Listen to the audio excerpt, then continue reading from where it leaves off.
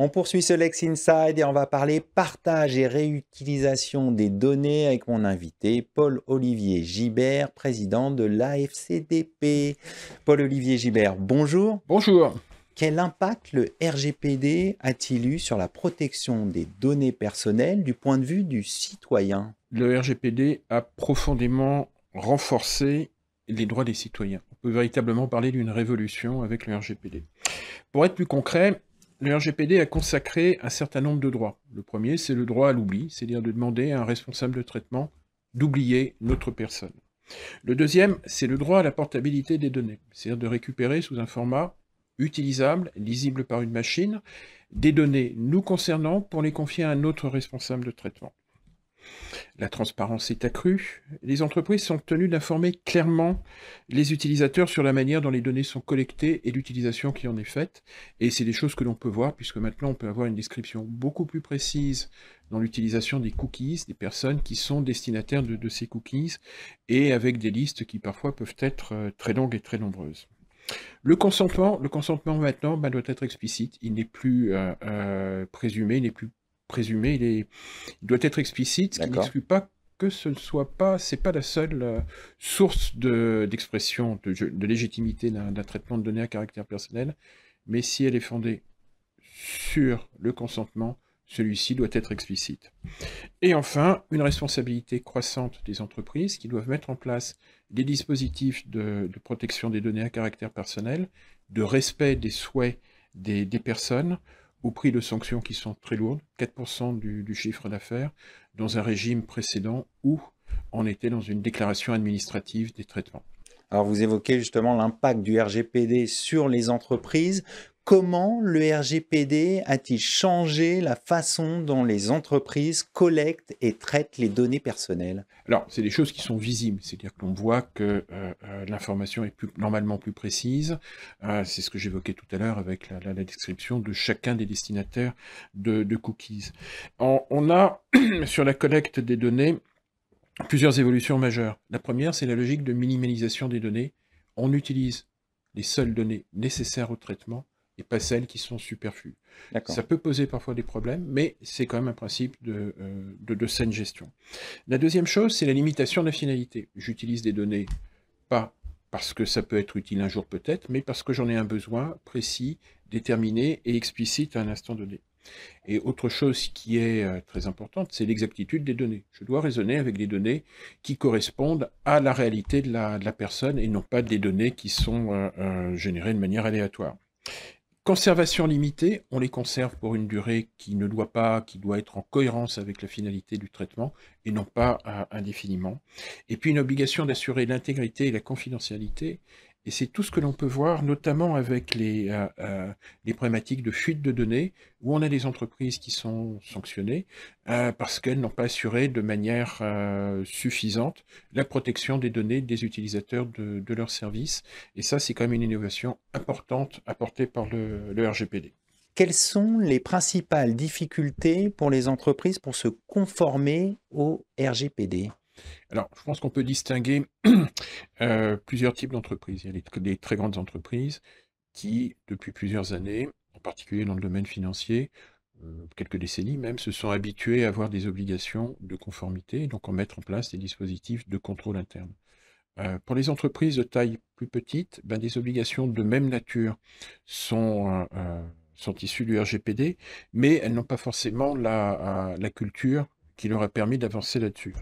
Des points sur lesquels il faut faire attention. Premièrement, c'est ce qu'on appelle la cartographie des données. C'est-à-dire que l'entreprise doit savoir quels sont les types de données qu'elle utilise, à quelle finalité et quelles sont les logiques de traitement qui leur sont appliquées. La deuxième chose, qui est un anglicisme, c'est le privacy by design, c'est-à-dire la protection de la vie privée par défaut. C'est-à-dire que dès que l'on conçoit un projet informatique, il faut intégrer cette problématique de protection des données de la vie des personnes à la fois en termes de sécurité, mais aussi en termes de respect des droits des personnes, lorsque l'on conçoit le produit. Et donc ça, c'est une évolution qui est importante, mais qui est aussi euh, euh, une logique de bon sens. On n'avait pas cette préoccupation avant le RGPD Alors, avant le RGPD, euh, certains diront de manière cynique, avant les sanctions du RGPD, il était très difficile de, de faire prendre en compte les besoins de protection de la vie privée avant, euh, dans le cadre du projet, et c'était bien souvent euh, euh, quelque chose qui arrivait en dernière minute, juste avant la, livraison. Maintenant, c'est fini. ensuite, il faut former le personnel, c'est-à-dire que le personnel doit être au courant des, droits, de ses droits et de ses obligations en matière de protection des données en tant que, préposé de, de l'entreprise. La gestion des incidents est devenue un point qui est très important, c'est-à-dire que lorsqu'on a une data breach, c'est-à-dire qu'une perte de, fuite données, de données. Une fuite de données ou un accès illégitime ou une indisponibilité des données, ben, il faut prévenir les gens, il faut les informer et il faut également prévenir le, euh, régulateur qui est la CNIL. Ça veut dire un système d'alerte à mettre en place? Ça veut dire un système de remontée et de gestion des incidents que l'on a dans les grandes structures, parce qu'il euh, y a des problèmes d'indisponibilité qui ont des, impacts très, très conséquents, mais c'est quelque chose qui redescend vers d'autres types d'acteurs que, euh, que les très grands groupes ou les groupes du domaine euh, dont les, dans les activités sont par elles-mêmes réglementées. Et puis, désignation d'un délégué à la protection des données à caractère personnel, un DPO, euh, que, je, que je représente et qui est une fonction qui est une fonction non exécutive et qui a pour but euh, d'assister le responsable de traitement, donc la direction de l'organisme, pour que le, la protection des données à caractère personnel soit bien intégrée et que la, la protection soit effective. En général, le profil des DPO, c'est des, juristes ou pas forcément? Alors, il y a une proportion importante de juristes parmi les, DPO, mais pas que. C'est-à-dire qu'on a aussi des gens qui viennent de la sécurité des systèmes d'information, des gens qui sont ingénieurs, et puis des gens qui viennent du métier. Alors, la difficulté du, du, métier de DPO, c'est pas tellement la formation initiale, juriste, ingénieur ou autre, c'est d'être capable d'être quelqu'un de, de, pertinent sur les domaines qui concernent le métier de l'organisation. D'accord. Deuxièmement, sur la réglementation sur la protection des données à caractère personnel, ça c'est un petit peu obligatoire. Et puis quelqu'un qui comprenne comment fonctionne un système d'information. Bien sûr. Donc c'est euh, cet, équilibre qu'il faut trouver. Et en fait, quand on se dit quelle est la bonne solution, interne, externe, euh, euh, tel type de rattachement, tel type de formation, c'est difficile de, de, la fournir.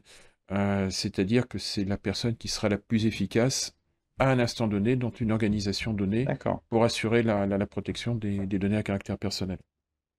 Quels sont les nouveaux défis en matière de protection des données personnelles avec, je pense, à l'intelligence artificielle ou l'Internet des objets? Alors là, on a de nouveaux défis parce qu'on a quelque chose qui ressemble à une nouvelle vague d'innovation technologique qui est proche d'une révolution. Euh, L'IA est, un enjeu tout à fait... Euh, important pour les DPO et pour les, personnes qui s'occupent de protection des, données personnelles, avec différents sujets. Premièrement, c'est la transparence et la loyauté des traitements. C'est-à-dire que les traitements doivent être, euh, euh, doivent être visibles, expliqués et compréhensibles par les personnes qui en sont l'objet. La problématique aussi de la sécurité des, euh, des données transférés, collectés et traités par euh, l'Internet des objets, ce qui est un sujet qui n'est pas si simple que ça avec tous ces capteurs qui sont un, petit peu, un petit peu, partout.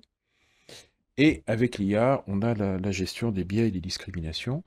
Euh, c'est pas toujours la faute de l'IA, c'est-à-dire que l'IA travaille par apprentissage et donc ce qu'elle projette, ce qu'elle produit, est finalement le résultat d'une analyse du passé. Il faut reconnaître que euh, si on regarde notre histoire, en termes de misogynie, de discrimination, on n'est pas forcément totalement exemplaire. Donc c'est pas forcément la faute de l'IA. Mais il y a aussi des fois où l'IA produit des, des hallucinations. Les hallucinations, c'est un résultat qui est plausible, mais qui est totalement faux. J'ai fait l'expérience à titre, un j'ai fait l'expérience à titre personnel et je me suis retrouvé beaucoup plus vieux et dans une spécialité qui n'était pas du tout la mienne. Mais il y a un exemple qui est beaucoup plus parlant, c'est qu'il y a des requêtes d'IA qui conseillent de manger des cailloux parce que ça apporte des, des, sels minéraux et qui a quand même une phrase un petit peu euh, euh, de doute à l'intérieur qui est mais tout le monde n'est pas d'accord. Donc en fait, il y a, on ne recommande pas de. Tout le monde ne recommande. Bah, il, a, dit, euh, euh, il semblerait que ce soit intéressant de manger des cailloux, mais c'est pas l'unanimité qui est là-dessus. Donc, à titre personnel, euh, je on ne recommande pas. Je, ne recommande pas du tout la, consommation de cailloux, même si ça peut avoir, enfin, si certains animaux gèrent leur digestion de cette façon. Le consentement dans un environnement IoT, c'est un sujet qui est un petit peu complexe parce que on a beaucoup de capteurs. Euh, on ne sait pas exactement sur son téléphone ce qui est capté, mais si c'est les, objets qui eux-mêmes ont leur vie euh, euh, autonome, on a aussi cette problématique de qu'est-ce qui va être capté sur moi à partir de, ces objets. Et puis, tac. Deux choses importantes. Le droit à l'explication, c'est-à-dire qu'il faut pouvoir justifier des résultats du traitement et de la manière dont il a fonctionné. Et puis un point qui est technique, euh, est-ce qu'on a toujours besoin de données à caractère personnel pour un bon apprentissage en matière d'intelligence artificielle? La réponse est non. Il peut y avoir des fois où l'apprentissage se fait avec des données anonymes ou des données pseudonymes. Et donc là, ça peut être un outil très intéressant. D'accord, on va suivre tout ça avec intérêt. Merci d'être venu sur notre plateau.